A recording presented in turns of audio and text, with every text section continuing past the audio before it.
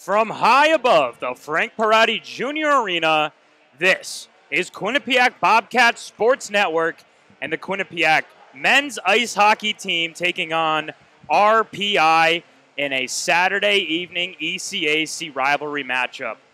And we welcome you inside the broadcast booth, Jack Main, Matt Mugno, alongside me today as we bring you through Rand Pecknold's 1,000th career game as the head coach of the Quinnipiac Bobcats. What a career he has had so far. A career he has had. 28th season. He was hired for the position on May 5th, 1994, and since then it's taken over from a D2 program to a D1, a successful D1 program who's had a Frozen Four berth in 2013. Most wins of any coach in QU hockey history and Quinnipiac athletics history with 571. Looking for the 572nd tonight. I was there live when Rand Pecknold captured that 500th career victory just four years ago before there was a pandemic.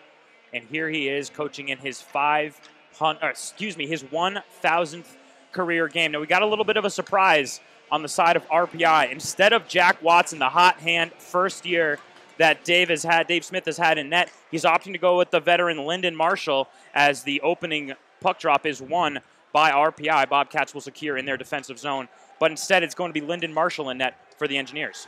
Linden Marshall, six foot three. The size advantage is there for the RPI goaltender, the graduate goaltender, who he can cover a lot of that net with his size.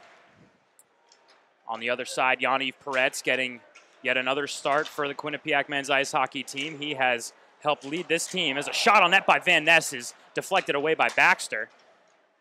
Yaniv Perets has been added to the watch list for goaltender of the year, and he has just won his third straight ECAC Goalie of the Month award. RPI trying to control in the neutral zone. It's taken away by the Bobcats, and we have our first whistle of the game. 19 11 remaining in this first period. So just 49 seconds in, we have our first whistle of the game. Looks like it'll be a offensive faceoff for the Engineers. First line for the Bobcats is out there looking to generate some offense. They had a really great game last night, but couldn't convert. We'll see if they can convert on their first shift here tonight. Bongiovanni and John Beaton will battle for the faceoff right in front of Yaniv Perets. It's won by Bonjo. He slings it up for Ty Smilanic, one of the great budding stars on this Quinnipiac men's team. Was just with the U.S. national team helping them get to the Olympics, but he is now here trying to help the number two ice hockey team in the country get another win. They beat Union just last night, trying to make it two in a row. Here comes Beaton for RPI. He's trying to skate around less. He's not going to do it. Zach Metsa there to back up for the Bobcats. Lombardi down in the corner. He's going to go up for Metsa, and Metsa's going to go up the far side and now opt to pass over. Smilanic has tremendous speed, and that opens up a lot of the game for Bongiovanni and Lombardi. Lombardi's a workhorse, and Smilanic has speed. That's two complementary factors that they have on that first line with the goal scorer and ca- in captain Wyatt Bongiovanni. Over on the far side, RPI is going to dump it all the way down, and we're going to get an icing call. First icing of the game so far. Right. So a slow start so far, Matt, but we have what we predict to be one of the most exciting matchups uh, in the People's United Center this season. Yeah, RPI comes in. They're looking for, they're fighting for the top four spot in the ECAC. With a win tonight, they will get into that top four uh, spot in the ECAC conference, and they're hungry. They played tough the last few games. They played Quinnipiac tough in December. Quinnipiac defeating Rensselaer 2 0 one of those goals an empty net goal, so really a one nothing game. So it was a tight matchup, and RPI plays a hard and gritty game, and that's how they succeed, uh, and that's how they can succeed tonight if they stick to that and really grind out, wear out the opponent, hit a lot. They have a lot of contribution from up and down the lineup. 12 different goal scorers, uh, 12 different players are game winning goal scorers, and no player has more than one game winning goal this season for RPI. So that's a good look when you want to look at contributions up and down the lineup in close games. Puck is yet to be controlled consistently by one team. Ethan Leyh's going to go down. He's going to try to put one in. He's unable to do so. He got screened off nicely by Jack and New. Up into the neutral zone for Ethan Leyh. He's going to skate to the far side. He's going to put a shot on net, but it's going to go wide. Leyh's going to try to dump it back down. It gets blocked and taken away by Halber. Ethan Leyh gets turned around in the neutral zone, and he's finally able to corral the puck right next to the Bobcat claw. At center ice, Cipollone down on the offensive zone. He gets turned around, and now RPI is going to get a chance to set something up offensively. Down by Yaniv Perets. He guards that right side as a shot on net is going to go wide. RPI able to keep it in their offensive zone. A slow moving game to start. 16:38 remaining in the first period. And this is RPI's best offensive look so far. They have great in zone. Uh, Yaniv Perets is going to swallow one up right inside the blue crease and a little chippiness after the play, but Perets is unharmed. No harm, no foul. 627, both teams go for a line change. that's how RPI can get scoring chances if they screen the goaltender. Perets had a shut one of his nine shutouts this season against RPI in their home rink.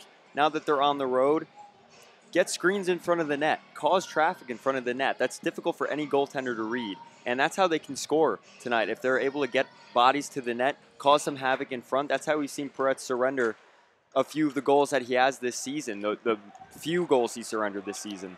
Here comes Chau down for the Bobcats. Great speed. Left hand wrister is blocked. And nice save by Linden Marshall. Linden Marshall comes into this game. He was benched for freshman Jack Wet Watson. And Marshall owns a career 89 8 save percentage in 72 games played. He's 21 41 and 4. And in this season, he's 8 11 and 2 with a 2.59 goal against average. So not great for the graduate student out of Victoria, British Columbia. On the other side, Jack Watson, a freshman, 6'3, has been outstanding for Smith and net with a 163 goals against average this season. and a 944 save percentage. That's usually more of a testament for how well a goaltender is doing game in and game out. So that average is really strong. Uh, Marshall, the taller goaltender, the graduate, but doesn't have as the impressive numbers that Watson has. Down onto the other side, Lombardi's going to corral it for the Bobcats. Bongiovanni's going to flick one all the way up. It's going to hit the Jumbotron and fall back onto the ice. 15.53 remaining in the first period. Still slow moving out of the gates, but we don't really have to tell the story of Yaniv Perets. We know what he can do. In his 18 games this season, 14 1 and 2, 0.8 goals against average. That's the best in the ECAC. And a 9.56 save percentage, nine shutouts. That's the big number for Yaniv Perets as he tries to continue to grow on a record setting season. Desi Burgart down in the offensive zone for the Bobcats. He's going to get tied up with Beaton down low. He's unable to get anything to go. And now Avari Rossinen loses the puck in the neutral zone, and Chorney's going to have to go corral for the Bobcats. RPI has numbers if they hustle. Chorney able to smartly pin it up against the boards. Filion's going to flip it up for Burgart. But Beaton's able to keep it in the blue line for the Engineers. A shot on goal is, oh, it's knocked around in front of Perets. He's lucky it wasn't able to go down, and a terrific defensive stand for the Bobcats. RPI working it around. They lose it across the blue line, and now everyone has to go back. Quinnipiac will look to set something up in front of their bench. It's TJ Friedman right now playing catch with Burgart in the back. Over across to Chorney. Chorney's going to flick it up, and a big hit right there in front of the RPI bench. And there's a Bobcat sitting on the ice. It looks like it's TJ Friedman. He's okay, though. He gets up and gets a nice tap on the butt from Ty Smilanic. TJ Friedman's another one of those hard-nosed players, one of those horses for Quinnipiac. How we see Lombardi on the first line, they have two of those lines have a hard-working player, a grinder, and that's what wins the hockey games against teams like RPI, who are also going to be just as physical and just as they're going to add a lot of pressure offensively. Uh, having players like Friedman at, in your in, in the faceoff dot, fighting to win faceoffs, getting the puck in deep and, and winning battles is exactly how you're going to win the hockey game. Friedman wins the faceoff for the Bobcats. Shot on net by Mendel is going to be deflected away by Marshall. Mendel's going to get it back on the near side. His attempt is tipped by McIsaac, and now the whistle's blown as I believe that puck hit the net. Bobcats skating from right to left. RPI skating from left to right, no matter how you are joining us today on a beautiful Saturday from Hamden, Connecticut. We, the rain finally cleared out, and it was a it was a nice Saturday for anybody who wanted to go out there and do some early February activities. The groundhog did see his shadow, so six more weeks of winter for us up here in New England. Didn't feel like it today. Nice walk to the rink today. a beautiful walk to the rink, a beautiful day on what has been really a crummy weather week otherwise. There's a shot on net blocked away by Perets. Nice right pad save, and it's another shot. The one timer from the blue line is going to go errant. Quinlan fighting down low for the Bobcats. He's being tied up right now. It's Mandel who's going to walk away with the puck for the Bobcats. Jayden Lee's going to skate up now. He's going to fire one all the way down, and the Bobcats will dump and change. Chau gets lost in the neutral zone with the puck. Guus van Nes is there to clean up the mess, though. And now Chau's got an opportunity to skate down. He's not quick enough, and it goes behind the RPI net. Corralling down there, Jake Johnson. Johnson up into the neutral zone. He's gonna he's gonna get the puck right back, and now RPI up into their offensive zone. Puck goes all the way behind Perets. Bobcats corral in their defensive area. Skyler Brind'Amour is going to skate down into the offensive zone. He gets help by from Guus van Nes, but terrific defensive play by Mason Klee. And he will fling it back across the blue line, and the Bobcats will have to reset. Linden, Luca playing catch in the neutral zone. Luca's going to skate all the way down behind Perets, and RPI is going to need to look to reset near the blue line. Key with a one timer is going to go up into the net, and the whistle's blown. 13 12. We are still scoreless. Shot on net three for RPI, two for the Bobcats. A slow moving game so far, and we are due for immediate timeout, but we haven't had an opportunity to get one yet. a little bit of a slow start. You're right. I expected a little bit more pressure from each side, considering they they both need this win tonight. RPI needs to win to hop into that top four of the ECAC, and Quinnipiac needs to win in a bounce back. They won last night, but it was a very close game to a Union team that's struggling this season and struggling in team against teams that are better than them in the standings. Wyatt Bongiovanni gets pushed around to the neutral zone, and the Bobcats will look to set something up in their defensive zone. Bongiovanni's trying going to go change, and now we've got a whistle, and I believe that will give us our first media timeout. I may be wrong. There is the under 15 timeout. I'm not. I'm not. I'm not missing that rule, am I? I think you are. I am missing that rule. Yeah. Yeah, uh, hockey's uh, hockey's quick like that. It just goes. it has a tendency to be fast. For for our listeners, Jack Main is a fantastic basketball announcer and commentator. uh, hockey may not be his first. Um, from the from the great state of Vermont, I have yeah. to get some winter sports under my belt. UVM not traditionally a great hockey team lately, so Number two in the country. I attend their school, so why not try to get on a QBSN call every once in a while? That's a true story. I did not know anything about hockey before coming to Quinnipiac. I got on a women's hockey call in my second week on campus, and I was scared out of my mind, but I was able to get it done, and here we are calling men's hockey, the number two men's ice hockey team in Rand Pecknold's 1,000th career game. Full house, and Rand Pecknold's 1,000th career game, and Jack Main's on the call. Who would have guessed? Who would have thought? Not me. New's going to dump it down for RPI. They are unable to corral it in their offensive zone, and Josh Johnson's going to corral it in RPI's defensive zone. They'll set something up in the neutral zone. Instead, they opt to dump. Filion down low for the Bobcats, trying to work it up. He's getting he's being fought right now by Rory Herman. Herman down low. One timer is a miss as Ethan de Jong got a stick in there. Jacob Lacka had a great look on net. Instead, it was van Nes who's had other ideas. Filion in the defensive zone for Quinnipiac, trying to flick it down deep, and Marcus Chorney takes a big hit on the RPI bench. He gets up and skates for his shift change. Filion down low for the Bobcats. He's going to try a wrap around, backhanded, and that was really an ill-advised shot there.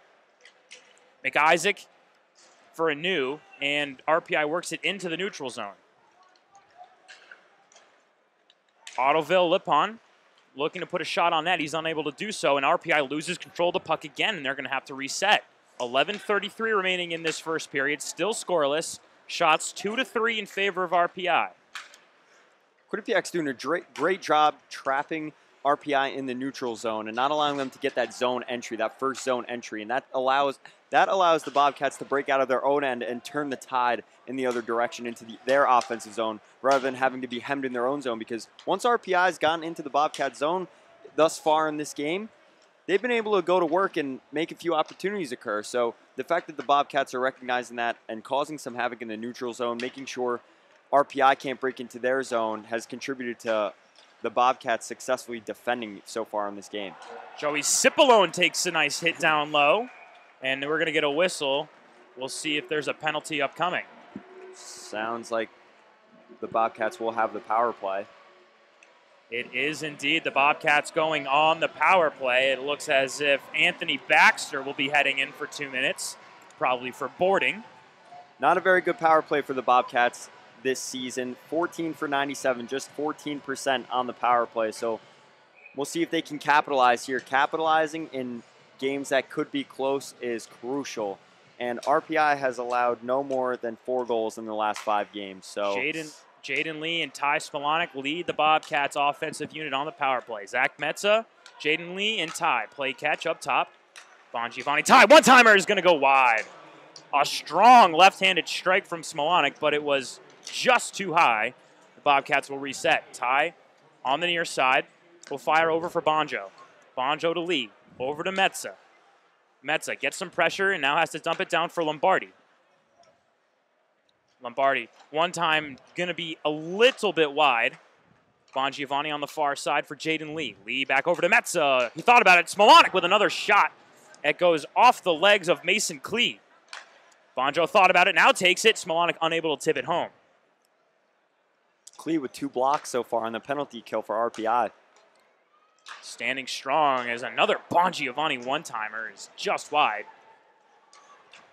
Metsa in front of the net gets the puck flicked away, and RPI is able to dump it. What a kill for RPI! Big penalty kill, not allowing the Bobcats to get going in this game, and that's what makes it tough for the Bobcats to get into games thus far this season. Especially last night against Union, not being able to score, not being able to find the back of the net it becomes more difficult and difficult as the game goes on. de Jong, one timer. Oh, it's just wide. A great opportunity there for TJ Friedman. Unable to get it to go.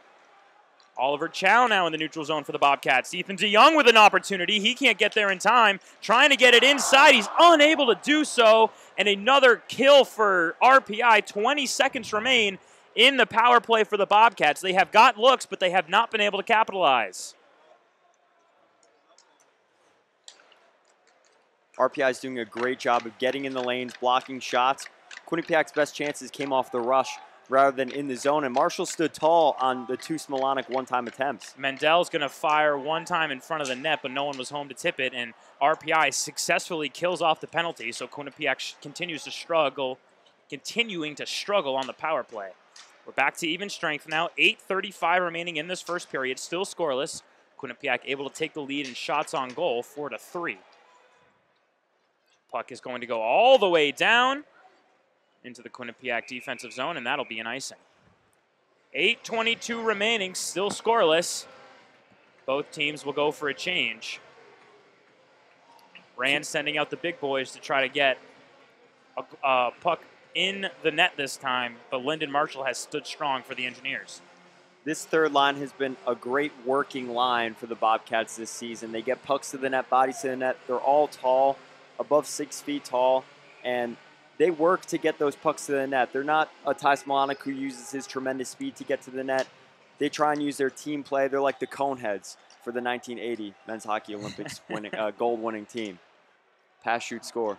Pass, shoot, score. There's a piece of hockey history. If Matt Mugno and hockey history. There you go. I love that. It is Olympic season, so you might as well get in the spirit. Skyler Brind'Amour's get turned around, but he got double teamed and he had to pass it up for Leyh. Chorney had an opportunity. He opts to pass in front of the net. van Nes, opportunity, and Marshall's able to stand strong. Quinnipiac's able to corral the rebound. Ethan Leyh is going to go on net and Linden score! Ethan Leyh pots it for the Bobcats. They finally break Marshall, and it's 1 nothing Quinnipiac a strange play. It didn't look like Marshall knew where the puck was or where the shot was coming from, but Leyh, who scored the game winning goal last night against Union, scores to open the game up tonight. padding the stats, but more importantly, padding the lead here for Quinnipiac. Coming out of the gate 1 0 with about 7.50 left. They find a way to beat Marshall, who stood tall in a few of the really good attempts before, and find a way to sneak one in from the top of the circle.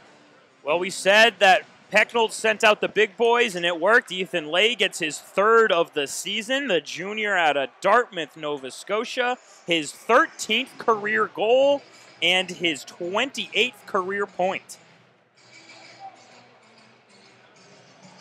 That's the goal you want to see from the Bobcats. You want to see them capitalizing on those opportunities where the goaltender's in a vulnerable or weak position. But it all started with the play of Brind'Amour and van Nes getting the puck to the net, crashing in the zone, and breaking down that danger zone in the slot. Lombardi with a quick wrister off the faceoff is a nice save by Marshall. So Marshall continuing to struggle in net. We'll see if Smith goes with Jack Watson later in the game here as the Engineers find themselves down. All time between these two, Quinnipiac leads the series 19 to 7. There have been nine ties in this rivalry matchup. Smilanic loses the puck on the far side.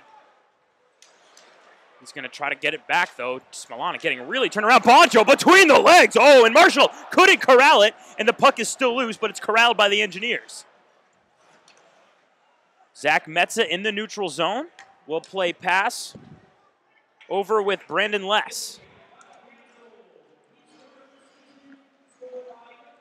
Puck is going to be dumped all the way down, and Quinnipiac does not go for a line change. I was fooled on that play.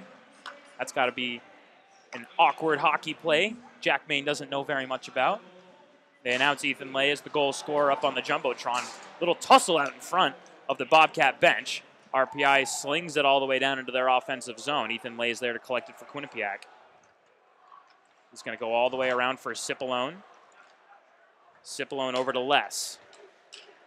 Les for Leyh. Leyh loses the puck in the offensive zone, and it's cleaned up quickly by Leppänen. Leppänen for Linden. Linden, oh, puts a move on Chorney, but it's a nice save by Perets using his right elbow to deflect the puck away. In front of the Quinnipiac net, it's collected by Friedman.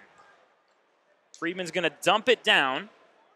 Avari Rossinen skating in for the Bobcats as Friedman takes a rest. Chorney, or Cipollone, excuse me, all the way down there, and we're going to get a whistle here as there was a player on the ice, and he's looking like he may need a little bit of assistance. That is Jack Anu, the sophomore out of Oakville, Ontario, is slow to get up onto his feet. The trainer walks out in front of the RPI bench, but everyone will head back, and we finally get our first media timeout. Quinnipiac, one RPI, nothing on the Ethan Leyh goal. We finally got our first breakthrough of this game after the power play after the power play. The power play struggled this season, but Quinnipiac thrives on getting the pucks to the net and crashing into the the danger zone. The danger zone zone is the area between the slot and in the goaltender's crease. When they can set up, get two men down low, work. Rand Pecknold built this team on hard work. Get the puck in, get the puck behind the defenseman, get to work, and get the pucks to the net. Now you have your skilled players, your skilled shooters like Bongiovanni and Smilanic who use their professional level speed to get to the net and make plays happen. But if they're not going to have a break in attempt, why try and use that skill to get in, break into the zone when they can set up, crash to the net, cause havoc in front of the goaltender? That's exactly what an RPI needs to do to Quinnipiac on this power play is get bodies to the net, get the bumper man in front, get a man screening the goaltender, get shots, crash in that danger zone, which it's hard to defend when you keep getting clammed and hemmed into your own zone. The further you get hemmed into your own zone, the more difficult it is for you to defend. Quinnipiac will have to defend here as they will have a defensive faceoff out of the media timeout. 1 0 Bobcats, 5.54 remaining in the first period. Quinnipiac has taken a stronghold of this game offensively, now leading 12 to 5 in shots. And it looks like RPI actually is going to be going on the power play here. It looks as if Marcus Chorney is in for the for Quinnipiac. He got two minutes for boarding, so we missed that. That was likely the reason why Anu was a little slow to get up, but now Quinnipiac will have to go on the penalty kill. They're able to dump it all the way down. So five on four. As RPI looks to set something up, TJ Freeman putting on what I would consider a full court press of basketball, but that's not what sport I'm calling right now. a good forecheck, a good forecheck in the neutral zone. Yeah, as the headman on the forecheck, those are the players you want. A Lombardi, a Friedman, Oh, the worker to go and fr- go in and make that neutral zone forecheck. Desi Burgart frustrated with stripes as he got nailed by the puck in the defensive zone, allowing RPI a free opportunity. No harm, no foul. That was RPI has to set up one minute remaining in the power play. The Engineers have struggled on the power play as well, only converting on 15 of 93 total power plays this season. So, struggling just as much as the Bobcats, almost equal numbers. That is where the game can really even out, especially for a team like RPI that's under 500. And Quinnipiac, of course, the number two team in the country, and just a week ago, the number one team in the country. RPI will look to set it up in their defensive zone. Quinnipiac applies the forecheck, and it's gonna. Everyone skates backwards. de Jong and Lee are able to knock it away. Beaton with a pass down low. RPI unable to corral it though, and the, the puck is loose. Mendel is able to get it over to Brind'Amour, over to Lee, and now Quinnipiac with a little shorthanded opportunity here with 11 seconds to go. Instead, Lee opts to dump it all the way down. It doesn't hit the net, so no whistle. Five seconds remaining, and Quinnipiac has successfully killed off the penalty. Klee for RPI, going to dump it all the way down. He gets tangled up with Metsa, and now we have another whistle right by the RPI offensive blue line. And we will get a face-off. 3.48 remaining in the first period. Quinnipiac 1, RPI nothing. RPI was unable to get a shot up on Perets during that power play. So a great kill by the Bobcats. The Bobcats defending this game have done a very good job of making sure RPI can't get into their offensive zone by putting on a good forecheck. The Bobcats putting on a good forecheck in their offensive zone. So good def- good offense starts from the defensive zone and not allowing RPI to break out and cut through the neutral zone for quick zone entries has helped them keep RPI at bay. And RPI, the engineers, they succeed when they're getting contributions from the entire team. There's not one or two guys that are going to really carry the team. It's a team effort whenever they play in tight games. And they're going to need, as a team, from the top of the lineup to the fourth line, first line of fourth, fourth line, to get something generated, get something going. Zach Metsa, Bon Giovanni in the neutral zone. He's got Oliver Chau over to his left. He's going to go to him a little bit too late. Now in front of the net, Ty Smilanic can't get it there. Bongiovanni, one timer, and it's knocked away by Marshall. What a save by Marshall. Bongiovanni and Ty Smilanic, two of the scariest skaters in the ECAC, staring Marshall in the face, and Marshall said, Not in my house, and he knocked it away. Ty Smilanic has 11 goals this season, Bongiovanni with 13. So both in double digits in 27 games played. They're about half a goal a game so far this season. So both are doing very well. And the workhorse line of Lombardi, Brind'Amour, and van Nes is back on the ice for the faceoff. Avari Rossinen and Marcus Chorney join those three. And oh, Avari Rossinen just tabletopped Luca right in the neutral zone. Rossinen up for Lombardi. Lombardi's unable to keep it in front of the Bobcat bench. Instead, it's Leppänen who's going to dump it all the way down for the Engineers. Puck is pinned up on the far side. Quinnipiac's able to come away with it. It's Guus van Nes. He will work up right here against Settery. Settery over across to the Bobcats bench. Laka unable to corral it. Avari Rossinen is there to corral it for Quinnipiac. Van Ness on the far side. He will look to work it up.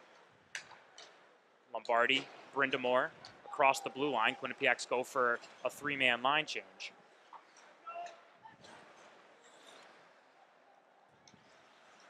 RPI trying to corral it in their defensive zone. Lombardi got walled off nicely by Seth, or by Seath, excuse me. Friedman got, got checked right in front of the RPI bench, and Quinnipiac will dump. And now, Quinn- oh, TJ Friedman ate it as he got into the neutral zone, and he would had a breakaway opportunity. The Bobcats are in good position right now, considering they're up one nothing with two minutes left in the first. But they've struggled on a few of the opportunities. That was another great opportunity where they could have at least converted gotten a shot on net. But Friedman tripped over his own two feet. If RPI is in this game, if RPI pots one already, we're looking at saying the Bobcats are struggling right now. But the fact that they're up one nothing, I think, is helping uh, some of their poor plays so far this game. de Jong battling down low with Dumbliski. Jayden Lee will look over to, or excuse me, Brendan Less will look over to skate for the Bobcats. He's unable to corral before the icing is whistled. 130 remaining in the first period. Quinnipiac struggling offensively, as Matt just alluded to. They're unable to really keep track of the puck when it's in the neutral zone, and having your having your skaters trip over their own two feet is not ideal in a breakaway opportunity. You know the ice is slippery, Jack. Ice, they do they do mention that every game, right on the jumbotron, which I think is, well, I won't state my opinion on that. However, it is a little self-explanatory. Ice is slippery. Davinsky's going to dump it down deep. Cher Fultz for RPI is battling real hard right now with Zach Metsa. DeYoung is able to corral it over to TJ or over to Filion, excuse me. Metsa in the neutral zone will fling it back for Jayden Lee. Brandon Less. Down low, no icing is called. RPI corrals it in their defensive area. Under a minute to play here. RPI trying to get something to go, but Quinnipiac was relentless in the neutral zone right now. RPI will dump and change. 33 seconds remaining in this first period. Quinnipiac up 1 0. Bongiovanni skating quickly around defenders, but he's going to have to dump, and he will not get an opportunity to put a shot up on the net. Ty Smilanic's there quickly for Quinnipiac, but the puck is bouncing around right now behind Marshall. Smilanic behind the Quinnipiac net, and he's met quickly, and the puck is just sitting still, finally flicked away. Avari Rossinen over to Bongiovanni for Ty Smilanic. Smilanic Opportunity, Bongiovanni on goal. No, it's not going to go. Lombardi had an opportunity. The whistle blows. And Quinnipiac with an exciting opportunity near the end of that period. They were unable to convert. They do, however, lead one to nothing. Matt, it was a slow start. Quinnipiac was going went on the power play, un, unable to convert with the up with the man advantage. But shortly thereafter, it was Ethan Leyh who got his third goal of the season. Yeah, the Bobcats came out a little bit stale, and RPI did not come out like a team that wants to be in the top four of the ECAC. So I'm a little bit surprised. I'm not sure if it's because of the schedule each team has had this week. RPI has this will be their fourth game this week alone, and this is the Bobcats playing in a back-to-back at home in a tough matchup yesterday, a surprisingly tough matchup against Union. So we'll see if they bring the energy in the second period in a very the score is close. It's, it is. It doesn't seem it's too a, like too close of a game, but it's only one nothing. If RPI scores, it, it's still a one goal game, and if RPI scores, it's a tie game. So we'll see. Even if the Bobcats come out and score early, two nothings, something that RPI can tie up. Uh, RPI in the games they've played the last few games, as I mentioned before, haven't allowed four goals uh, in the last four games in each of those individual games. So they like it close. They do like it close indeed. Quinnipiac likes a bigger lead, and we'll see how they're able to combat those ghosts coming up here. 14 minutes remaining in the intermission. Jack Main and Matt Mugno. We will be right back with you. You are listening to Quinnipiac Men's Ice Hockey on the Quinnipiac Bobcat Sports Network. Welcome back to the People's United Center as the Quinnipiac men's ice hockey team, number two in the country, taking on the RPI Engineers in an ECAC Saturday night rivalry matinee. Skyler Brind'Amour and Linden able to doing the face-off duties at center ice as the Bobcats and Engineers will switch ends for the second period. Quinnipiac up one to nothing. Guus van Nes and Oliver Chau with a quick opportunity, 10 seconds into the period, but it's deflected away by Marshall. Marshall allowing the first goal of the game to Ethan Leyh. He potted his third of the season. Baxter, nice shot on net, but it's eaten up by Perets, and the whistle's blown. It looks like RPI is trying to wonder is wondering why the whistle was blown. Perets did not corral it cleanly. Leppänen would have had the entire back door of the net open because he received the puck when it came out. I'm, I do not know why they called that.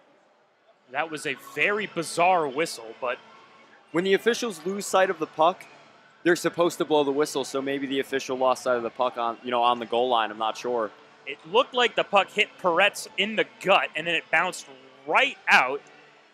for Leppänen, and Leppänen just had to corral it because the whistle had blown, little errant whistle. So that saves the Bobcats a defensive stand, and now they still lead 1 nothing. Ice has been cleanly swept. It's such a nice, sleek look after the Zamboni comes across. Swanick, nice tip over to Bongiovanni. Bonjo plays catch with Lombardi. Lombardi, one timer, and Marshall corrals it cleanly, and Bongiovanni unhinges the net. He has a nice, polite conversation down low with Marshall after he bumped the net.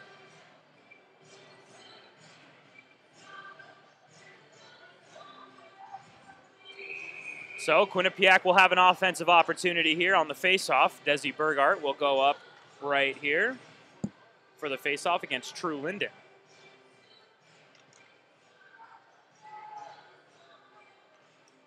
Burgart, Linden awaiting the puck drop. And the Quinnipiac offensive zone corralled by van Nes, or Ethan de Jong. DeYoung backhand over to Filion, and Filion is getting beaten up down low, and RPI with a nice defensive play there to get it up into the neutral zone. in for Quinnipiac dumps it back over into the neutral zone. Leppänen over for RPI, trying to corral it away, and it gets bumped out for Marcus Chorney. Chorney's going to skate behind Perets. The Bobcats now skating left to right in their home yellows, RPI in their reds with the red bottoms. A lot of red teams in the ECAC, so you can get a little bit confused with Cornell, Colgate, Harvard, St. Lawrence, all wearing red. And the Bobcats just played in the Connecticut Ice Tournament playing Sacred Heart in their red sweaters. so uh, they're playing red teams all around lately. Is red just like a power color for hockey? I think there is science behind it that when a crowd cheers and they're wearing red jerseys, it's more intimidating to the players on the ice. I believe there is actually science statistics behind that. Well, we'll wait to see when Rand Pecknold is able to convince Quinnipiac and able to be able to get red jerseys. Is a nice save by Marshall and a wraparound opportunity for the Bobcats and a little tussle afterwards. The Tor Linden line just got off the ice. Tor Linden, the captain of the Rensselaer Polytechnical Institute Engineers. That was great. He has never he has never scored a point against the Quinnipiac Bobcats in the three years he's played them. Last season they didn't play. He's a senior. They didn't play because of COVID. He has never recorded a point against them. We'll see if he can break that tonight as the captain in a big game, a one nothing game right now. In 101 career games, he has scored 53 career points. None of them have come against Quinnipiac. Brandon Less on the blue line. He's going to flick it down over van Nes. van Nes, a wraparound opportunity, but Baxter with a nice stick. And another wraparound opportunity for Quinnipiac, and it's again lost. Quinnipiac has to reset again. Oliver Chau is going to skate around. He's going to try to dump it down for Metsa. Metsa gets tangled up. He falls to the ice. RPI will dump it into the neutral zone. A great defensive stand for the Engineers again. They have numbers if they hustle, and it's a nice play defensively for Quinnipiac. Oliver Guus Chau Van with Ness. great, yeah, van Nes and Oliver Chau with a great back check there to break up the play. And that looked like a clean one-on-one for the RPI skater. The forward for RPI looked like he had a clean break-in. RPI in their offensive zone. Johnson near us. He will fire it down low, and it's knocked away by Brandon Lesson. Perets got turned around. Johnson, once again, one-timer blocked away by Brind'Amour. Skyler Brind'Amour standing strong for the Bobcats. A one timer by Josh Johnson is going to go all the way down into the glass. Quinnipiac, Oliver Chau will flick it across. Intercepted by Johnson. Johnson will have to skate in circles, but he saves an RPI opportunity. And now RPI with a miscommunication. And it will go all the way down for Marshall to corral it. That was Mason Klee, who just lost sight of the puck. His controller died in the offensive zone, and now RPI has to reset. Josh Johnson skating down low over to Beaton. Beaton, one timer, is a little high and wide. Klee down. He's going to go for Lombardi. Lombardi got turned around, but able to be corralled by TJ Walsh. Walsh and Klee playing catch now in the offensive in the neutral zone, and now Quinnipiac's able to take control of the puck. Bongiovanni for Quinnipiac near Ty Smilanic, and Bonjo got his feet absolutely taken out from him. That ref does not put his hand up, so a clean play in the eyes of Stripes. Desi Burgart comes onto the ice. No interference call. Josh Johnson shot on net is going to be blocked away by Perets. Quinnipiac now had an opportunity. Smilanic hands down the puck. He hits it right into Beaton. And now we're going to get a whistle. I believe we're just going to get a regular icing here as there was a hand in the air, but everything looks to be clean for the moment. 15:35 remaining in the second period. Quinnipiac 16 shots, RPI with six. They have gotten one off on Perets this period. Nothing has fallen for either side, and it remains 1 0 Quinnipiac. The word one is just not enough in another language. In hockey language, not enough, one shot. Looks like the Bobcats are on the power play. Yeah, and so there you go. The hands were up. We couldn't see what happened. The PA announcer just said Quinnipiac's going on the power play, so he was unable to see what happened as well. But it's Laurie Surdy who's going in two minutes, and so Quinnipiac has two minutes to try to better their struggling power play. This is a time you want to capitalize in the game. If you can go up 2 0 on the power play, have a commanding 2 0 lead, you're in control of the game. RPI struggles defensively, but Quinnipiac struggles on the man advantage. They scored their one goal today on even strength, less than two minutes after a power play. So maybe Quinnipiac would rather have five on five. The man of the hour, Rand Pecknold, two weeks ago had stated that he was happy with the way the power play was trending. But since the Harvard game, in the post game, since he had said that statement, they've still struggled and haven't really taken off yet. So we'll see if they can capitalize here and start a better trend in goal scoring on the power play. van Nes and Brandon Less play hokey pokey on the blue line. van Nes wrister is going to be blocked away. RPI trying to fling it down. van Nes is able to keep it in for Quinnipiac so no one has to reset. Oliver Chau on the near side in the corner, going down for Quinlan, and oh, an opportunity, but de Jong was unable to put his stick on the ice in time. Pushing and shoving on the far side corner, and RPI is going to sling it all the way down. 30 seconds remain in the power play, and Quinnipiac will have to reset. Both teams go for a line change. Ty Smilanic, Mike Lombardi, and Wyatt Bongiovanni amongst the new fresh skaters for Quinnipiac. de Jong just couldn't get a stick down on that puck back door. He would have had the whole entire net to work with. Metsa, uh, Lombardi looking for Smilanic. He's unable to get it. Smilanic now is able to corral, but he needs help, and he needs it desperately. Bongiovanni's going to wrap it all the way around. Three, two, one, and RPI kills off their second penalty of the day, and they have numbers. Here's Seath. One shot on net. Perets needs to corral it. He can't, but Quinnipiac knocks it away. Yaniv Perets, your ECAC goaltender of the month, standing strong. Huge play with Sirty coming right out of the box and getting a shot on net one on one with the goaltender. Perets stands tall. That was a great save on a great opportunity by the penalty committer. Yaniv Perets, so good for Quinnipiac. He has been one of the best goalies, if not the best goalie in the country, and he is a first year. He most recently beat the shutout total in a season by a Quinnipiac Bobcat of eight, previously held by Michael Garteig. He beat that with a shutout over Princeton a few weeks back in a 9 0 victory, his ninth shutout of the season. That is incredible. I don't think I've ever seen a goaltender of nine shutouts in any level, at least that I've watched or covered.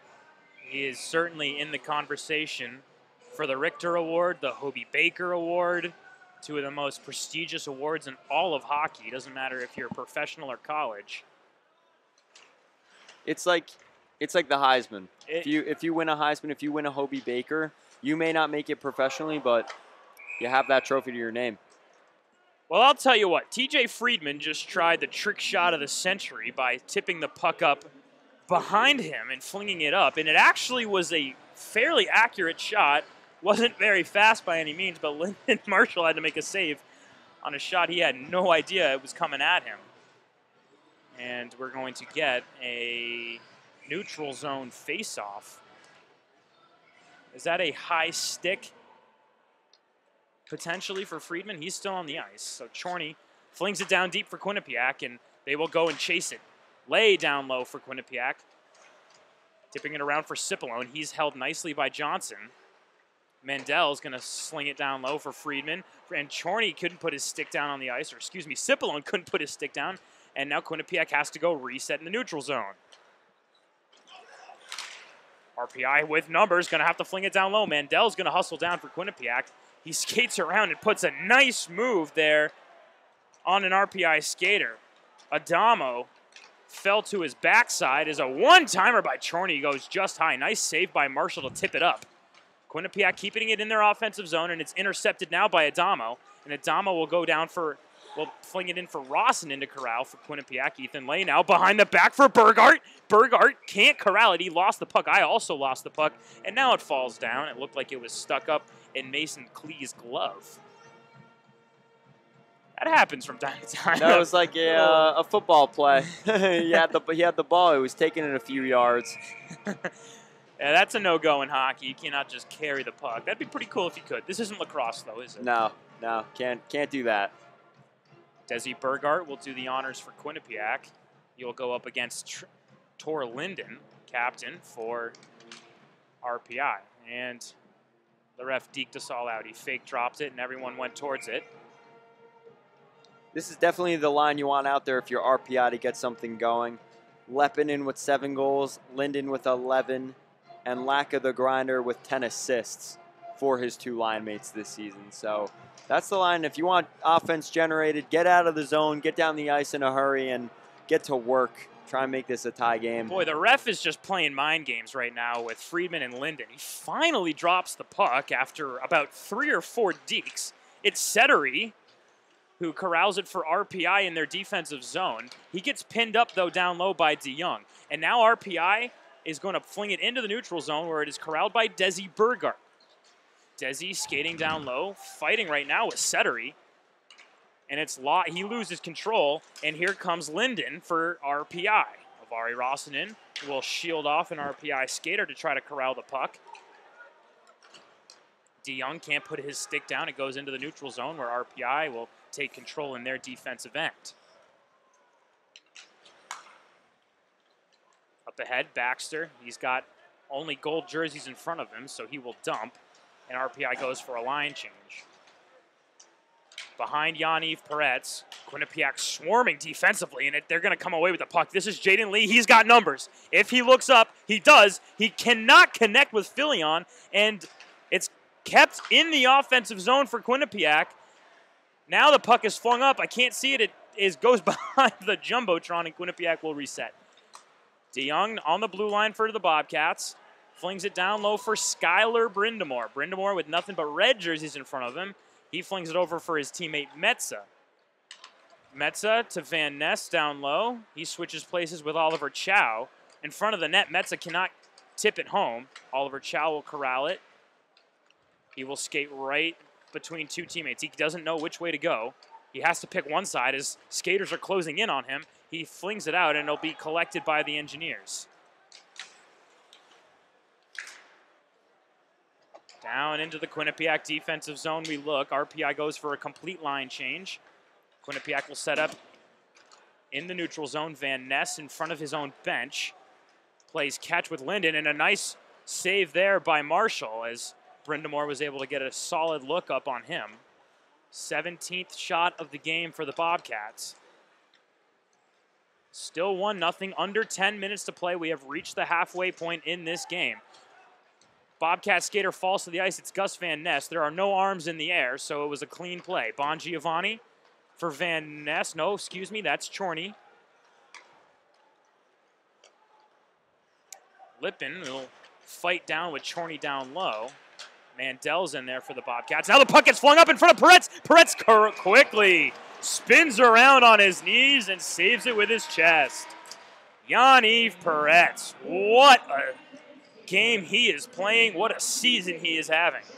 This is where the engineers need to settle the play a little bit and set up in the offensive zone. Lacka just takes a hack at the puck on that weird bounce that came to him backdoor. Perets skated towards Lacka, and that's how he came so far out of the net. If Lacka settled the puck and made a pass into the crease, maybe it goes off of a Quinnipiac defender and into the net. Maybe he finds a teammate back door. those are the opportunities you want to capitalize on on broken plays, on plays that maybe you're not getting the passes to connect, things aren't necessarily going your way, but you get a lucky bounce. You want to capitalize on those types of opportunities, and sometimes it's as simple as settling the game down. Looks as if Perets may have been surprised that the puck ended up in his chest there. What are you seeing from Perets that is making him just the outstanding goalie that we know and love? So Metsä had a block shot last night to end the game. The puck stayed in the zone. The shot came out into the slot, and Perets made a blocker save where the game was on the Union forward stick in the slot, the danger zone, the prime spot to be a goal scorer. Player wound up, had the wrist shot ready, loaded, loaded his stick, got the flex to work, ripped a shot in the slot. It's, it was a very fast shot. He looked calm, cool, and collected when the puck came out from the Metsä block. Simply blocked it away with the blocker. There was an extended motion. He didn't try and overexert himself to make the save. It was one save, one moment at a time in that final zone uh, when the Union had the puck in the zone. That's how he was dialed in. He just seems so dialed in when he's making those saves that it's one save, then the next save. You know, he, he wasn't trying to overextend himself make a flashy save. It was in that moment. He made the save in the time the team needed the save. That's what I've seen for Perets this season, Jack. We're coming out of the media timeout. 9.18 remaining in the second period. John Beaton and Wyatt Bongiovanni will do face-off honors in front of Yaniv Perets on the near side. It's won by Bongiovanni. Chorney gets pinned up quickly against the boards. Bongiovanni comes over to help, but Chorney is getting his stick bent in every which direction. He can't come away with it, and it's the strong skating engineers that are able to corral it in their offensive zone. Amando, the 6'6", 250 grad student, you do not want to get into a tussle with him, and he absolutely embarrassed Chorney on the boards. Adamo is a French native, six foot six. usually only see those types of height numbers at the at an advanced level. At NHL level, you see players that big like a Tyler Meyer, Tyler Myers in Vancouver, Zdeno Char, Chara, longtime Bruins captain, six foot six college player from France. That's a combo.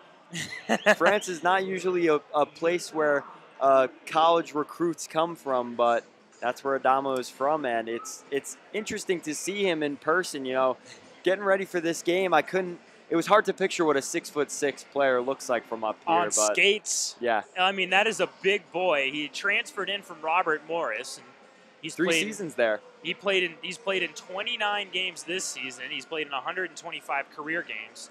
20 goals, 29 goals, excuse me, to his name, to go along with 30 assists. And for those of you who can't do quick maths, that's 59 career points. So he's looking for his 60th career point to try to spoil the shutout party that Yaniv Perets continues to put up on what seems to be a multiple weekly basis. Josh Johnson knocks down the puck in the neutral zone for the Engineers. Chorney over from Mandel. Mandel left wrister will go all the way down hard off the glass behind Marshall. Leopold, Johnson, and Johnson gets his Wrister blocked away by Ethan Leyh, and Leyh's going to go chase it. Nice hustle play by number 14. TJ Friedman down for Quinnipiac. Metsä as well, but it's corralled by the Engineers. Quinnipiac really had no opportunities there. Instead, Cipollone will corral it in the defensive zone. Rebold fires it away. He comes off the ice. Big hit down low on next to the Bobcat bench The puck is in the Quinnipiac offensive zone. Friedman loses his stick, and that's going to allow the Engineers to fling it down deep. Ethan Leyh in the neutral zone for Quinnipiac. He's battling right now with Mason Klee and company. It's one away by Metsa. Metsa in his defensive zone puts a spin move. He's going to fire it over for Cipollone. Cipollone can't get it. It's going to be knocked away by Baxter. Baxter, Chelberg, down low. Kjellberg's going to fire it down deep. Chelberg, a sixth round pick by the New York Rangers in the 2018 NHL draft, playing tonight. He is one of only three drafted players on the ice tonight most of the time in ECAC play, there's a lot of NHL draftees. Tonight, there's only three two for the Bobcats and one for RPI. Quinnipiac bench looking for a hand to go in the air. There is not one that's up. RPI had an opportunity in front of the Yaniv Perets.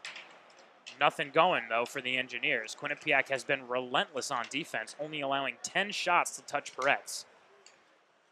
Settery on the blue line will fling it down deep. He's just looking for anybody. He's going to set up once again. The lefty will fling it down deep. It's going to go right next to the Teletubbies in the Quinnipiac student section.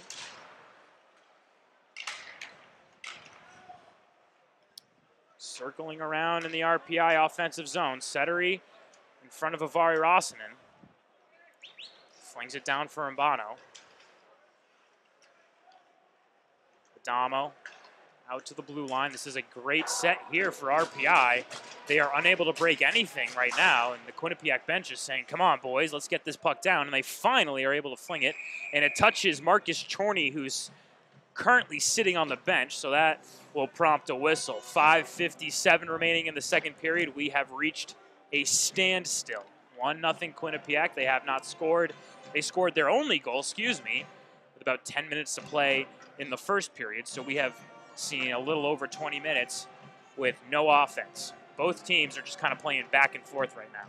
And on that goal, Marshall just seemed a little bit shocked that the puck was shot from kind of the half wall at the circle in the way it was. I think there was a lot going on. It was kind of, there was havoc prior to that with van Nes and Brind'Amour bringing the puck to the net. Uh, so we haven't seen a real clean goal tonight. Just one goal standing on the board, the lone goal by Leyh. Uh, halfway through the game now, halfway through the second frame. Puck is won away by the Bobcats. Marshall puts his hand up to sit, tell his boys to lay off, and it's going to go down for an icing. Both teams will go for a line change. RPI desperately needing some fresh skaters after a long offensive set. Quinnipiac, if you're on there, if you're on Rand Pecknold's brain, which of course they are, they are looking to set something up offensively. They have not gotten anything stable in about 10 minutes of gameplay. Quinnipiac wins the faceoff, but it's immediately intercepted in the neutral zone by RPI. Sheer Fultz for RPI and Manchi play catch in the neutral zone. Mandel for Quinnipiac is there to try to knock it away. Puck goes right into the referee, and Quinnipiac will dump. Marshall comes out from behind the net to corral it. He's going to tip it for Marshall. Chau. Metsa in the neutral zone right in front of his bench. Gets shoved by Sherfoltz. RPI will dump and they will change. As close to a stalemate as you can get, Quinnipiac leads this game 1 0, though nothing exciting has really come of the last 15 or so minutes. Yaniv Perets standing on the near side of his post. Quinnipiac skating left to right. McIsaac with a shot. It's knocked away by Brind'Amour. Baxter corrals for Quinnip or for RPI, excuse me, but he flicks it right into the skate of Lombardi. Lombardi's going to flick it back to McIsaac, so McIsaac and Lombardi trade turnovers. Behind Yaniv Perets, we get a whistle here as there's a little friendly hug between McIsaac and Brind'Amour after those two just battled it out down low. Tough Final- to get tough to get into the zone, Jack, for both teams here. I mean, they really haven't. Either side has not really had sustained pressure for maybe longer than 30 seconds. But as you just mentioned, we just had about 10 minutes of no action. Quinnipiac will finally get an offensive faceoff after four straight defensive faceoffs. Perets gets a well-deserved breather. de Jong wins it for Quinnipiac. Vari Rossinen down low. He flicks it back for de Jong. DeYoung fighting with Baxter. Filion, we haven't called his name much tonight. He's going to be bullied down low by Mason Klee, and we get a whistle here, and I believe Quinnipiac will head on the power play. I may be incorrect, however. Nope. They will head on the power play. Third power play opportunity of the night in a 1 0 game. This is where you need to capitalize on an opportunity like this, Jack. Four minutes left in the second period. This is where you could turn the tide. It seems it seems nobody's had really uh, possession of this game. Rory Herman will head two minutes for boarding. And Quinnipiac with the man advantage 0 for 2 today. 4.08 remaining in the second period. Bongiovanni will do the honors for Quinnipiac. Linden for RPI.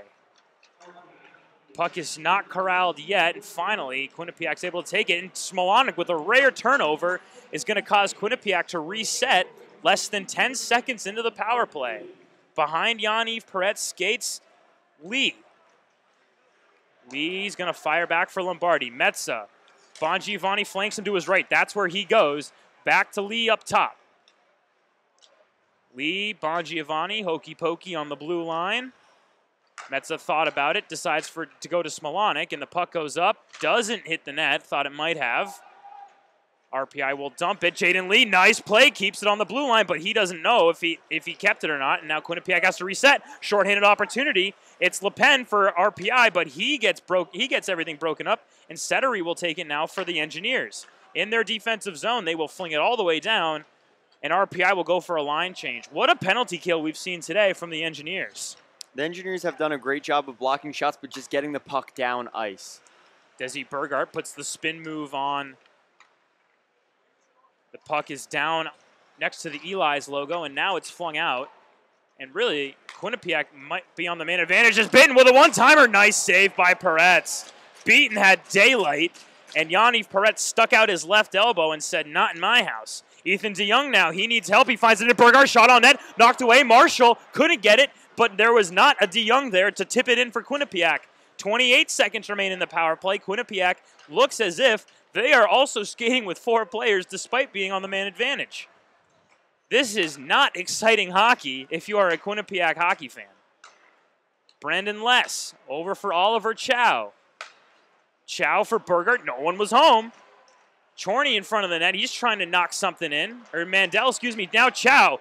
Chau with bodies falling all over Marshall. And RPI just continuing to stand strong. Quinnipiac looks lost. I am absolutely baffled that the number two team in the country can't put together a quality power play. This has been a problem they've struggled with all season, Jack. You know, keeping pucks in the zone from their de- the, the defensemen and converting on those chances. They it looked like defenders were in the crease and Marshall couldn't move. And they still couldn't just They couldn't it. find a way to, yeah, you know, Les loses shelf. it out on the blue line. Uh, I'm shocked at that. Uh, they weren't able, you know, it's not clean. Nothing's clean on this power play uh, the last few games and frankly all season. But not even opportunities. We haven't even seen real shot attempts tonight, and it's still a one nothing game. Quinnipiac did not put up a shot attempt on that two minute power play. 149 remaining. They still hold the lead. Chorney gets his shot blocked away by Jake Johnson. Chorney once again. Cipollone down low for Quinnipiac. He kicks it to his own stick. TJ Friedman will wrap it around the boards for Rossinen. And Quinnipiac will turn it over in their offensive zone. They look lost. It is baffling to watch this team play offense right now. The puck is pinned up against the Quinnipiac bench. We get a whistle here. Marcus Chorney on his knees right now. He gets a glance from the tra- trainer and shakes it off. And Chorney will stay on the ice. Mashi looked pretty banged up heading to the engineers bench. He was limping a little bit. He looks like he's in pain on the bench right now. Not sure. Keep an eye on that as the left wing on the second line left winger for the engineers just headed off the ice, banged up knee. It looked like he was hobbling a little bit, but Mashi, the junior out of Stony Creek, Ontario. Five goals on the season, seven in his career. So he is having a breakout season for the Engineers. Guus van Nes wins the faceoff, broke between two defenders like a guard on a fast break. And van Nes does a handstand right in front of the Eli's logo. Don't know what that's all about. But now Oliver Chau trying to fight around engineer defenders. Brind'Amour with an opportunity. He can't get anything to go down, and RPI will opt to keep it in their defensive zone. That was interesting. Jake Johnson flips it up for Walsh. Now Johnson in the neutral zone with daylight. He's got Linden as a screen in front of him. All he has to do is work on Marcus Chorney, and Chorney puts him right up against the boards. Nice play by number seven in gold. Walsh falls to the floor. 36 seconds remaining in the second period. Quinnipiac with an absolutely abysmal offensive period. They will head to the locker room, and I'm sure the man coaching his 1,000th game will rip into this team about how poor their offense is right now. You know, Jack, it's not really about in this game right now. It is a 1 0 game. They could use more offense, but they are winning the game. It's more about the tougher competition that they're going to have to face at this level and in the tournament play that they're going to be playing in. They had a tough game against Sacred Heart in the Connecticut Ice tournament where they went down and they ended up winning the game in overtime, but they struggled in that game as well with all the same consistent issues. Consistency is the problem for the Bobcats as we have reached the end of the second period. Quinnipiac clinging to their fingertips on a 1 0 lead. Shots 21 10 in favor of the Bobcats, but that is not the story heading into the third period. Who will the skater be that breaks the rut that RPI is in offensively, and who will it be for Quinnipiac that makes the big play to put them up 2 0? Those are the storylines that we will have for you in 15 minutes right here on QBSN.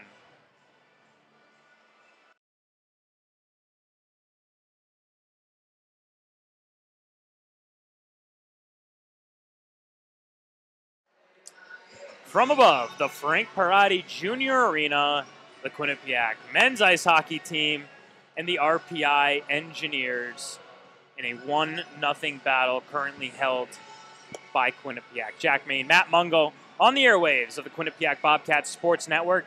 It was a stagnant second period in, we, in which we saw neither team gain control of the puck, but really just some poor power play opportunities from the Bobcats. Right now, a little bit of an ECAC scoreboard update. Union is up 5 to 3 at Princeton. Quinnipiac's up 1 0 against RPI. Clarkson are in Yale right now, and they're tied. And that has implications on the Bobcats as they are one point ahead of Clarkson in the ECAC standings. So the ice has been freshly zambonied. Number one, Yanni Perets, and number one, Linden Marshall the goalkeepers for their respective squads. The crowd trying to get the Bobcats back into it as they have gone absolutely quiet offensively. 30 seconds into the final 20 minutes of play. Quinnipiac trying to hold off RPI and earn their 23rd victory of the season and their 12th in ECAC play. RPI trying to play spoilers. Oliver Chau with a shot on net. It's blocked away by Marshall. RPI trying to even up the score, and if they were able to come, if they're able to even it up and take the lead, as Perets has to make a nice sprawling save. So back-to-back saves by number ones in goals for both squads. If RPI can hold off, it can come back and win. It would be their eighth, and they would move to 500 in ECAC play. It would be their 13th victory overall. It would move them into the top four of the ECAC, which is exactly what they came in here to fight for. But haven't shown much fight tonight, Jack. They haven't, however. They are one solid possession away from tying this game up. As Quinnipiac has continues to struggle offensively. We got our first whistle of the third period comes with 18:40 remaining. Quinnipiac up 22 to 11, exactly double what RPI has in shots on goal. And we've already seen Yanni Perets hit Yanni Perets hit the deck in an attempt to make a save. So RPI showing signs of life offensively Yaniv Perets will have to play the period of his season to get Quinnipiac a victory. Ty Smilanic unable to keep the puck in the neutral zone. An RPI will set up. Smilanic with a solid play defensively, but Anu gets hit hard by Metsa in his offensive zone. So Metsa with a nice play defensively. Michael Lombardi will corral the puck in the neutral zone. He needs help, and he flings it right into four RPI skaters. RPI will set up cleanly in their defensive zone. The team switching sides, as we mentioned. Quinnipiac skating right to left, no matter how you've tuned into us on your phone, tablet, or computer. Quinnipiac is going from right to left. RPI from left to right. The puck is behind Marcus Chorney. He had no idea where it was. He's going to wrap it all the way around the boards and into the neutral zone we go. It's Ethan de Jong. He has space, but he gets walled off nicely. What a play by Sertti. Lauri Sertti of RPI keeping the Engineers in this game. de Jong is going to flick it down for Avari Rossinen. Crowd wanted a penalty. It's in front of the net, and it's knocked away by RPI. Fillion needs help. He's going to look for de Jong. Instead, opts to take it himself. He's getting bullied. Avari Rossinen is going to go for Chorney. Chorney with a wrister. That really had no shot of going anywhere. It is Aaron de Jong behind the net. Dumps it off for Fillion. Fillion needs help. He finds it in Marcus Chorney, and he flicks it right into RPI. And RPI will set up now in the neutral zone. They flick it down deep. Quinnipiac goes for a two-man line change. Shot on net. Perets stood strong, though. That was a rather, rather easy save for the first year. Yaniv Perets, your reigning ECAC goalie of the month. Quinnipiac continuing to struggle offensively as RPI has really had control of the last 10 ish minutes of gameplay. Quinnipiac had an exciting opportunity at the end of the second period. Uh, nothing was able to fall for them, though, and the whistle kind of sounded a little too early, but Quinnipiac looked like they had something going here. In front of the net, it's collected finally by the Bobcats. Chorney will work it up, but he's going to flick it to Baxter of RPI. The Engineers have great possession so far. This and to start this third period, they've had a few opportunities getting pucks in on net, getting some shots on net, and showing some life here, Jack.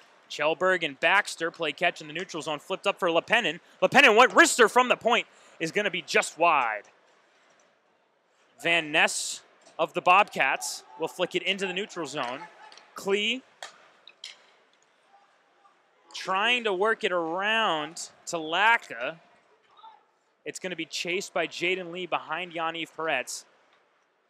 One engineer in front to beat. Instead, Lee will flick it down deep for Oliver Chau. Chau couldn't get clean control of the puck.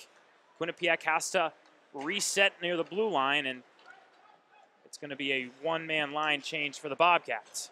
Klee, behind his own goal, is fighting with Brind'Amour down low. He tries to flick it for Leppänen. Instead, it's corralled by Brandon Less. Guus van Nes playing keep away from Lee.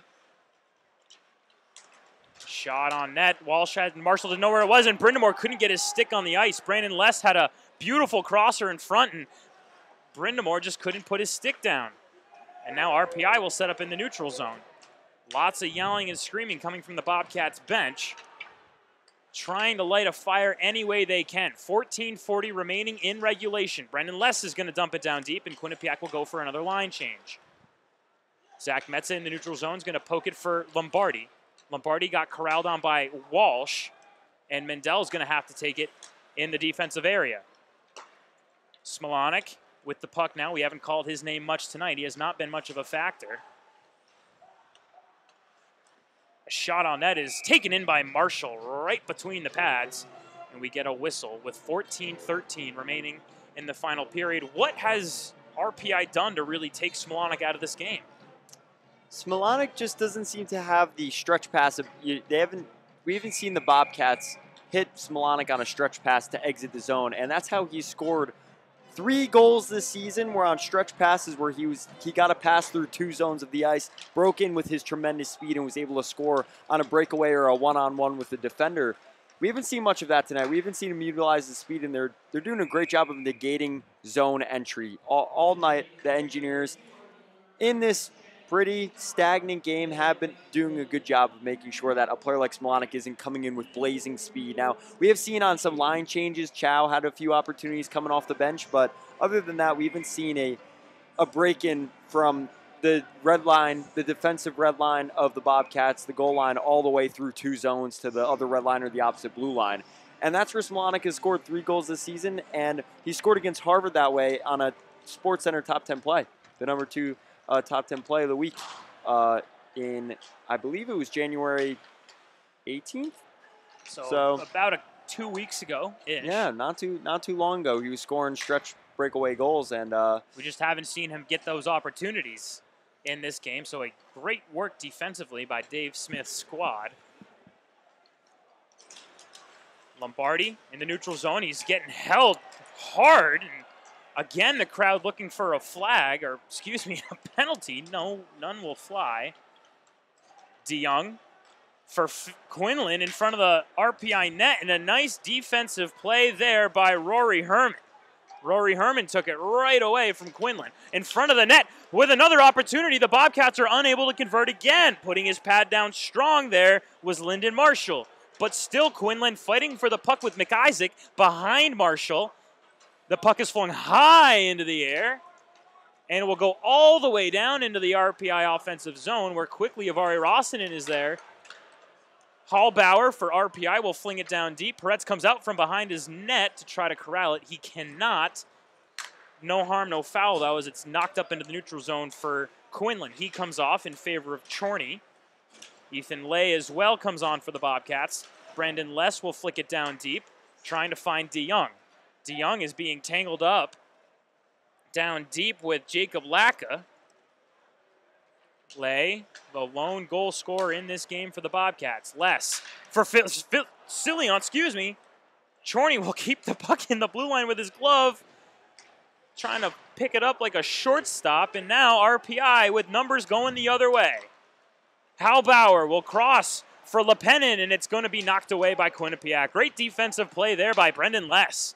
Joey Cipollone looking for the puck and a breakaway opportunity. What we would usually see Ty Smilanic. We'll be sure to ask Rand Pecknold how Ty can get some more opportunities in the post-game press conference. But right now, the focus is on the next 11 minutes and 50 seconds, and if the Bobcats can cling to this one nothing lead.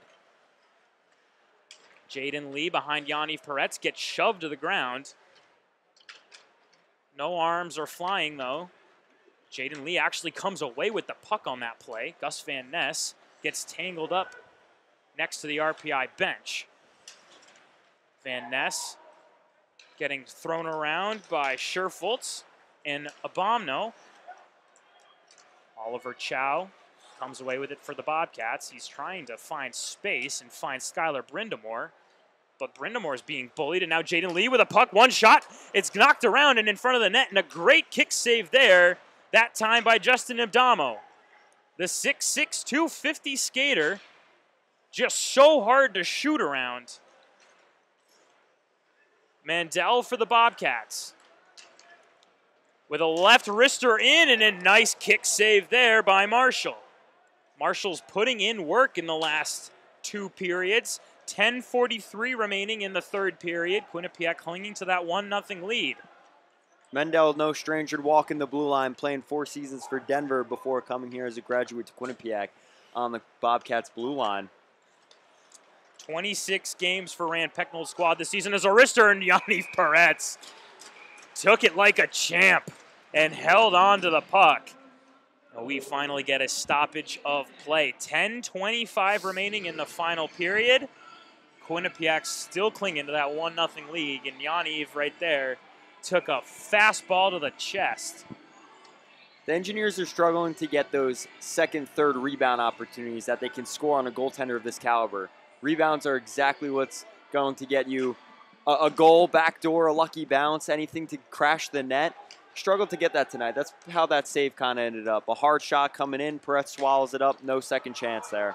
Icing is waved off. Ty Smilanic gets tripped up right in front of the Teletubbies. Smilanic tips it around for Lombardi. He gets his pass intercepted by Mason Klee. He flings it down deep, and now we get an icing call with under 10 minutes to play in the third period. Quinnipiac will go for a line change. RPI keeps their five. 9.57. Quinnipiac up one nothing on RPI, trying to get their 23rd win of the season and their 12th in ECAC play. Desi Burgart does the honors for Quinnipiac. Dubinsky for RPI. It's won by Burgart, but now RPI will come down with it. Marcus Chorney behind his own net gets the puck taken away from him. That was Reed Lebold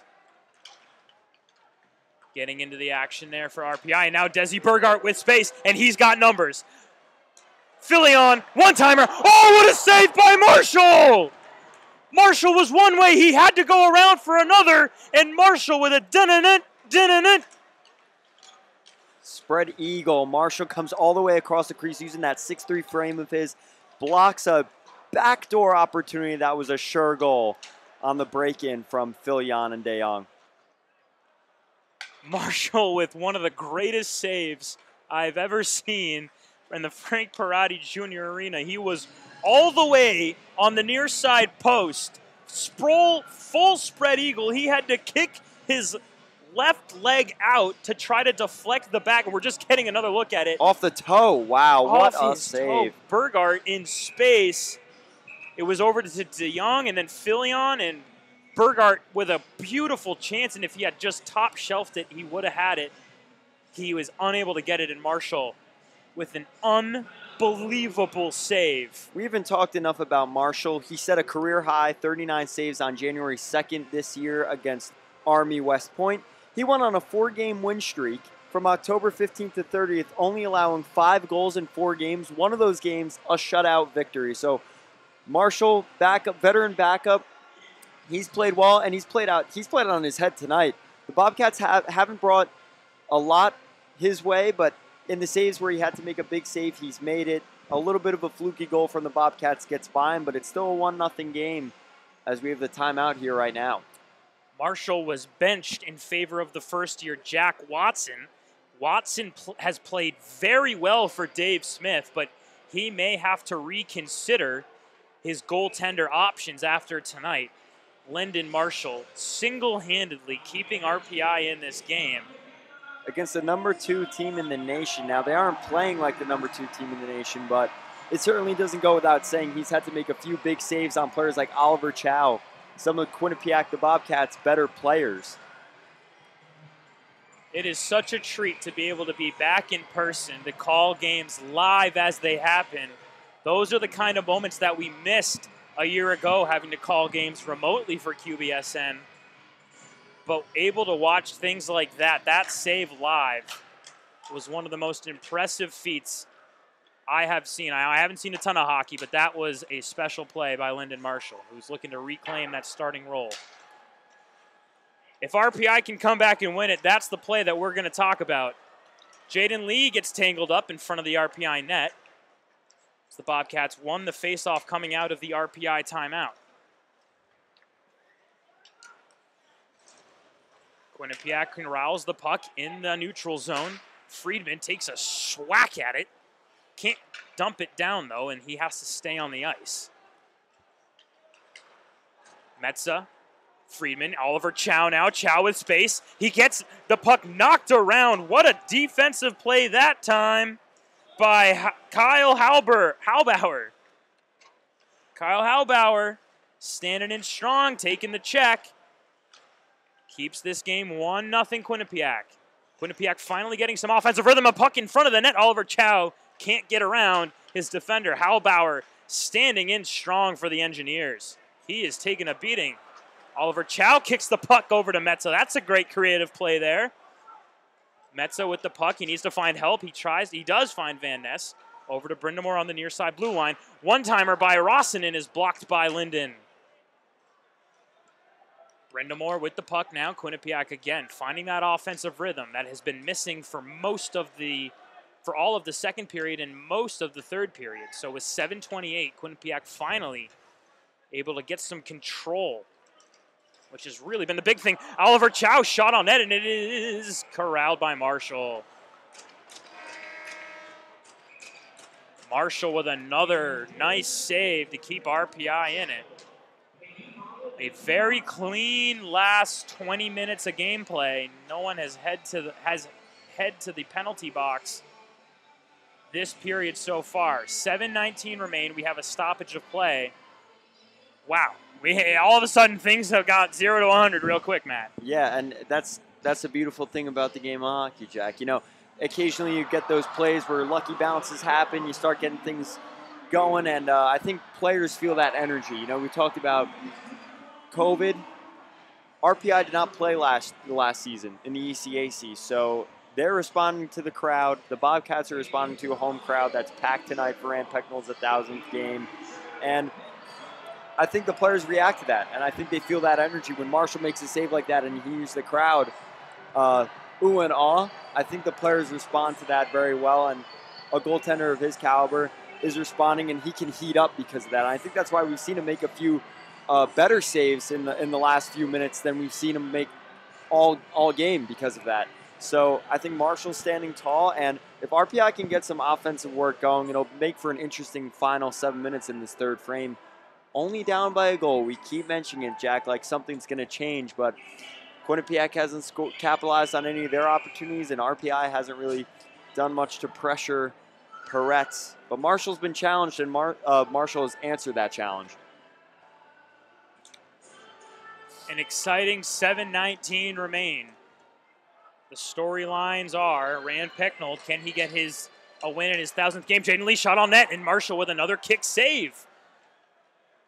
Agnew will flick it down and keep it in play. No, it went into the RPI bench. Jack Agnew just popped it right up into the air and flicked it right into the bench. So yet another stoppage of play. So yes, the storylines, as I was alluding to. Rand Pecknold, 1,000th career game coached tonight right here in the Frank Perrotti Jr. Arena, trying to get that victory that has been very shaky looking at times. RPI trying to play spoiler, and RPI trying to get one of their more impressive come from behind wins of the season.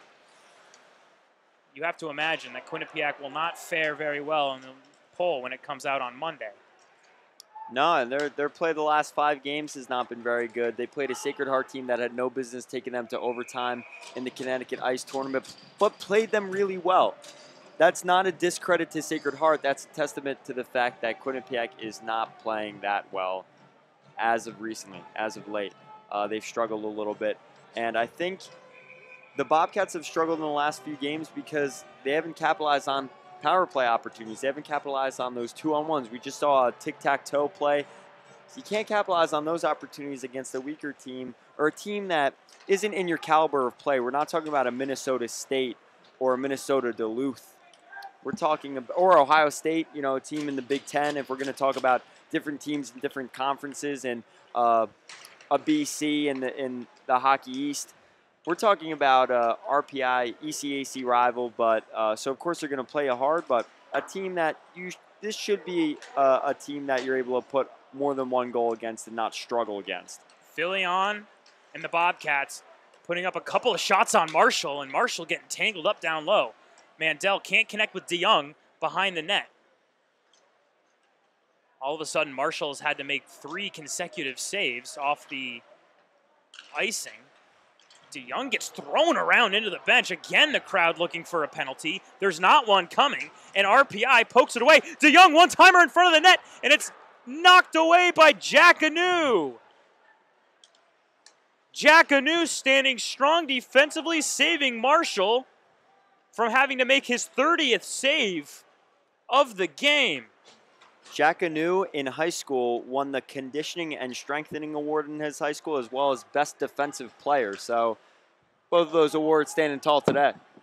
If you're just joining us, Quinnipiac clinging to a 1 0 lead. They've had opportunities, but unreal play by Linden Marshall, the grad student goaltender for RPI, has kept the Engineers in this game, and they look close to breaking this Quinnipiac defense. Marcus Chorney will put a move on Leppänen and free himself up. It's into the neutral zone in front of the Bobcat bench. Now we're starting to see some hustle from both sides as we approach under five to play. The puck is dumped down deep. Icing's waved off. Oliver Chau collecting it in the defensive zone of the Bobcats. TJ Friedman getting in there. Leppänen chasing it down with Chorney. Knocked ahead for Cipollone. Cipollone's got Oliver Chau, but three engineers in front of him. He's going to have to dump it, and Quinnipiac will go for a line change. Skyler Brind'Amour, Brandon Less. Guus van Nes will take the puck now. Less over to Brind'Amour for Zach Metsa. Metsa gets the ball, uh, gets the puck knocked around, excuse me. 4.20 remaining in the third period. RPI setting up, trying to be methodical, and now they just fling it all the way down. And that'll be an icing. 4.11 remaining. Quinnipiac still up 1 0. RPI just 14 shots to the Bobcats 29.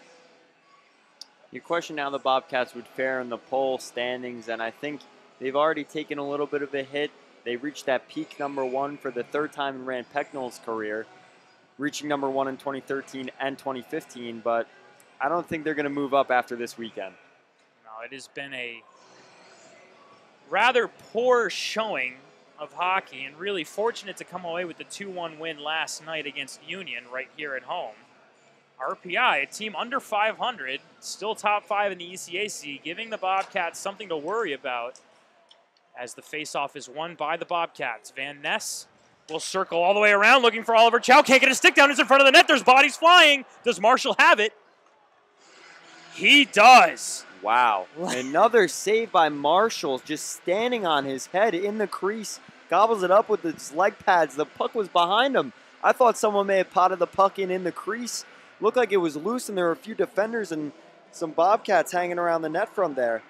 Boy, I'll tell you what, the lack of excitement has driven some fans to head to the exits early. 401 remain. Quinnipiac still up 1 0. They look like they're on the brink of getting something to fall, though. RPI wins the faceoff, a rare win for them today. Ty Smilanic gets into the action. Again, Ty has been rather neutralized in this contest so far. RPI finally getting it into their offensive zone. Halberg fires one on Yaniv. Yaniv knocks it away with his left elbow, holding that stick in his right hand, excuse me. Shot on net, knocked away once again by Perets. Halberg will fling it down deep. Lombardi skates over for the Bobcats, and it'll be the big Justin Amando Addamo skating into the neutral zone for the Bobcats. That big 6-6 frame. Don't want to take a hit in front of him. Here comes Oliver Chau. Fast skating, left-handed wrister. He will not get it to fly in. RPI is able to reset. Jake Johnson flings it into the neutral zone for the Engineers. Desi Burgart, Oliver Chau. Chau trying to break away from three men, puts a shot on net, and it's knocked away by Marshall. Desi Burgart's there to collect the rebound for the Bobcats. He loses it on the skate of Jacob Lacka, and now it's flung all the way down for Marshall to collect it out of his net. RPI with 236 to decide if they want to pull their goalie in favor of an extra skater. You have to imagine that that will come in the next minute or so. Ethan Leyh flings it all the way down the boards, and we get a stoppage of play with 225. Quinnipiac doubling exactly the number of shots RPI has but RPI has put a couple up in the last few minutes. 30 to 15. Quinnipiac leads in that stat. But once again, it's been the quality of looks that Quinnipiac has been getting. They haven't been great, and when they have, Linden Marshall has been right there to be a brick wall. Marshall, this is definitely not a game you can look back on right now at 1 0 and say that Marshall was a cause for this loss or allowed too many goals on weak opportunities. I mean, he's made saves in every which way. Brind'Amour wins the faceoff for Quinnipiac. Ethan Leyh can't corral it in the neutral zone, and that will allow the Engineers to set up. They fling it down rather lazily, though, and Zach Metsa will pick it up. Brind'Amour has TJ Friedman in front of him, and he just can't find him. That was a awkward looking pass, and just went right back into the red into the red jerseys. Under two to play. What will Dave Smith's squad have in mind? Will they pull Marshall with under a minute, two minutes to go? He's in there right now. We'll keep you posted. TJ Friedman looks for Brind'Amour. Brind'Amour is going to be swarmed. He needs help, and every single Bobcat is off the ice. And Brind'Amour will just put a wrap around on net. Nothing going. Ethan de Jong will forecheck a engineer attack, and now off comes Marshall with a minute 26 to play. RPI will go up by one for one skater. Hallbauer into the offensive zone. Shot on Perets, knocked around, it's in the air and it's in the crowd. What a block by Griffin Mendel. It hits off of him. It looked like there was a wide open net if his body wasn't there. Starting to bring the pressure on really quickly on that dump in. Get the shot from the point and the rebound in the slot. It looked like it hit off of.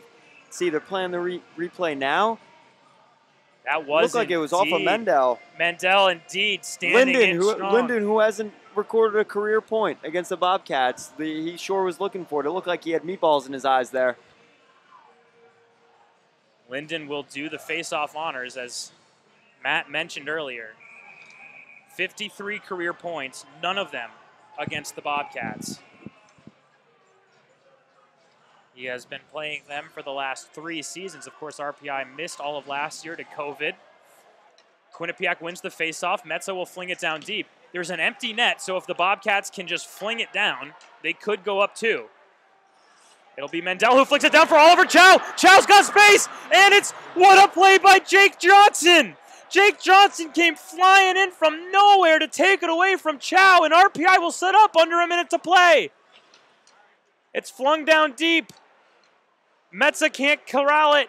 de Jong, Bongiovanni now with space. Bonjo's got to fling it. He does. He misses the net. 36 seconds, and we have an icing. If if the engineers capitalize here, you got to wonder that the Bobcats are going to look at this those two opportunities as great opportunities to end the game. Chau, full speed ahead. The back check by Johnson to break that play up, it, it would have been game over. We have a timeout here, one minute timeout. I believe RPI will go and talk it over. Things are getting interesting here at the People's United Center as the Quinnipiac men's ice hockey team. Likely not number two after today, so soak it all up. They have a 1 0 lead on the RPI Engineers. Yaniv Perets with a knee in the goal. He has a lot on his mind. He is trying to will his men to their 12th victory in ECAC play. It'll be an interesting week for sure at practice, you can imagine, for this Quinnipiac men's team. And if you're RPI, if you, if you don't come away with the victory today, really nothing to hold your head about. You got Linden Marshall back on track after he was benched for a first year, and you really gave the number two team in the country fits offensively. That entire second period was abysmal for Quinnipiac. And listen, that's what we've seen a few teams do come in and do this season. They play up to the Bobcats, uh, who were a number one team in the nation two weeks ago, dropped to number two. But if you can play to that level, if you're in the middle of the pack in the ECAC, you can make some noise. And, and they may not get into the top four tonight. If the Engineers don't get into the top four tonight, they'll surely have more opportunities in the next coming games this week. RPI wins the faceoff. Baxter flings it down and it'll hit the net, so we'll get another faceoff. 31 seconds remain. Quinnipiac holding on to that 1 nothing lead. Dubinsky doing the honors for the Engineers. And once again, the ref just having fun with these skaters, faking the puck drop. Dubinsky beside himself right now. And now the referees are going to look to are going to they're going to give everybody the okay here. Stop playing around, boys. Let's play some hockey. The puck is finally dropped. Who has it? It's just kind of floating around between Zach Metsa and his skates. He flies to the ground. A shot on net is wide, corralled by Hallbauer on the near side blue line. Taken in now. RPI just firing things at net. 10 seconds to play here. Quinnipiac needs to just fling it down the ice and they win. Five, four, three. It's knocked away. It's in space. It's going to go all the way down. The game is over. The Bobcats hold on for the least exciting victory I have ever seen. However, Yaniv Perets gets his 10th shutout of the season. One of the greatest seasons we've ever seen from a Quinnipiac goaltender. He continues to add to his legacy as one of the greats to ever do it, and he's only in his first year in gold and blue. Matt, it was one heck of a game. In Rand Pecknold's 1,000th game, first year goaltender who, at the beginning of the season on Q30 television and in QBSN, we looked and said, who's going to be the starter for Quinnipiac this season? Who's going to be the Bobcat starter, St. Cyr or Perets? The net is one of theirs if they can take it. 10 shutouts later, I think we can say it really belongs to Perets. Rand Pecknold wins his 1,000th game, Jack, and it wasn't exciting, but they got the job done. We'll see how they fare in the bigger picture with their standings and rankings, but they win another ECAC conference game. Well, Yaniv Perets needs one more shutout to move into top five all time in career shutouts. And boys and girls, it only is it may only take him 22 games to get into the top five in all time shutouts. Yaniv Perets is the Quinnipiac men's ice hockey team right now. We don't know where they're going to end up on Monday in terms of nationally rank of national rankings, but the play of Yaniv Perets is the reason why people continue to come in and pack the People's United Center. Quinnipiac men's ice hockey leaves the leaving the ice right now. The engineers have already gone, and if you're Dave Smith and his squad, nothing to hold your head about but really one heck of a game by Linden Marshall and Yaniv Perets. Those two put on one heck of a show for everyone who came and watched tonight. Thank you so much for tuning in to this broadcast on QBSN. Quinnipiac will be back in action next weekend when they take on Brown right here at the People's United Center. That actually will be on Tuesday. So get your popcorn ready because we have Tuesday night hockey coming from coming for you right here at the People's United Center on QBSN. For Matt Mugno, I'm Jack Main. Be sure to go follow all the QBSN socials on Twitter and Instagram. Like us on Facebook, and be sure to subscribe to the Miked Up podcast wherever you can find it. Once again, for Matt Mugno, I'm Jack Main. You are listening to Quinnipiac Men's Ice Hockey. They win 1 0 over RPI.